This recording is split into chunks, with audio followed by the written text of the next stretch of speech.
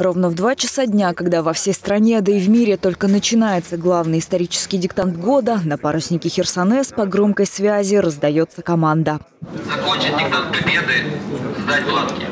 Один академический час и 25 ответов на совсем непростые вопросы о ключевых событиях войны, о местах сражений и, конечно, о тех, кто приближал победу. Есть историческая параллель в том, что к заданию одними из первых приступили именно в нашем городе, замечают курсанты. Ведь в Севастополе и война началась на 45 минут раньше. К слову, в этом году диктант посвящен именно 80-летию с момента начала Великой Отечественной. Севастополь – это город-герой, и поэтому это место действительно историческое и приносит, скажем так, э, мысли и силы к написанию данного диктанта победы.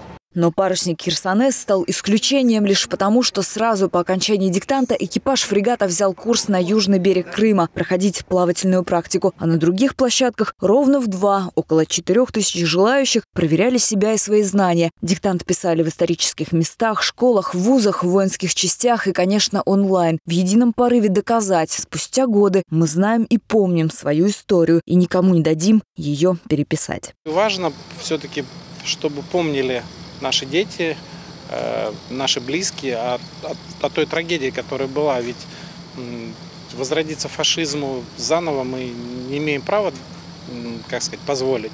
В этот день история, кажется, объединила весь мир. Россия и еще 79 стран отвечали на вопросы диктанта по-русски, английски, китайски. Тесты переведены на три языка, чтобы трудности перевода не стали проблемой, когда речь идет об общей памяти.